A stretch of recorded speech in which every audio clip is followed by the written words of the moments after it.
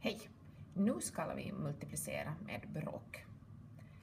När man multiplicerar med bråk så räknar man täljarna gånger varandra och nämnarna gånger varandra.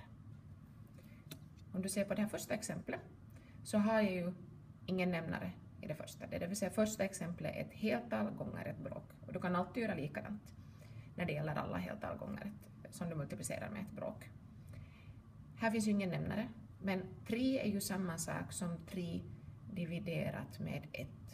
Du behöver inte skriva dit det, men du kan tänka det som så att det egentligen finns en etta i nämnaren. Och då blir, ser du tydligt att 3 är då en täljare. Och som jag sa, när du multiplicerar bråk tar du täljarna gånger varandra, det vill säga 3 gånger 4. Och nämnarna gånger varandra, 1 gånger 7. Ettan behöver du inte skriva om du får om du vill. Den har jag ju satt bara dit som en hjälp att se att, att vart egentligen ska den där trean. Och sen utför man multiplikationen. 3 gånger 4, det är 12. Det vill säga 12 sjundedelar. Först utför du multiplikationen och sen tittar du att kan du förenkla det på något sätt. Nu har vi täljaren större än nämnaren. Då ska du skriva det i blandad form. Och 12 sjundedelar är samma sak som en hel och fem sjundedelar. Följande exempel är ett bro, ren bråkform gånger ren bråkform.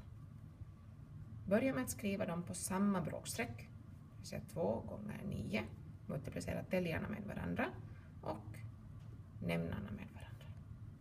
Orsaken till att göra så här är att det lönar sig att förenkla allt i det här skedet så långt det går innan du utför multiplikationen. Annars blir det jättelånga förkortningar sen i följande steg. Så förkorta här. Titta, finns det någonting i samma tabell? Tvåan och tian, de är båda i tvåans tabell, så jag kan förkorta med 2.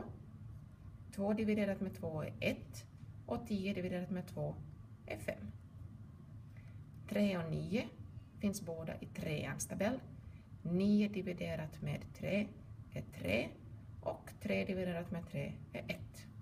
Så nu behöver du inte utföra några större multiplikationer utan bara 1 gånger 3.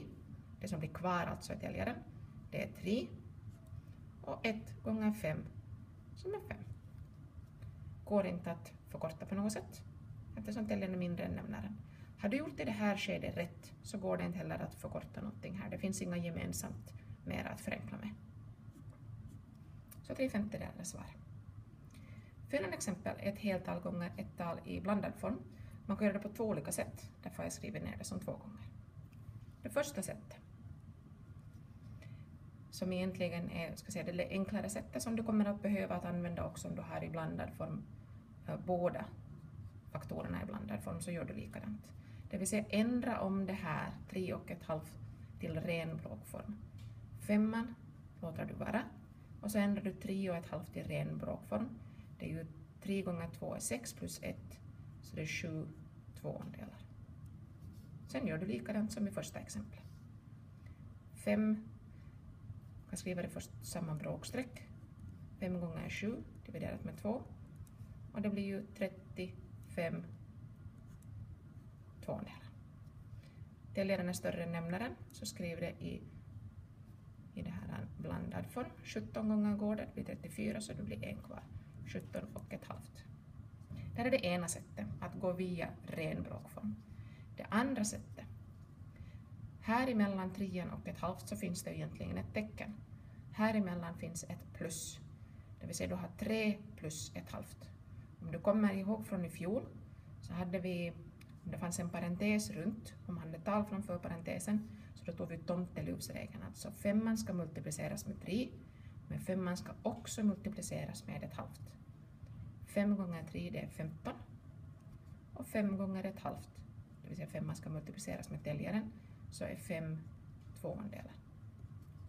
Då gäller det bara att få om det här till blandad form. 5 tvåandelar är samma sak som 2 och ett halvt. Lägger till det där till 15 så blir det 17 och ett halvt. Du får själv välja vilken deras sätt du tycker att det är bättre. Lycka till med multiplikationerna.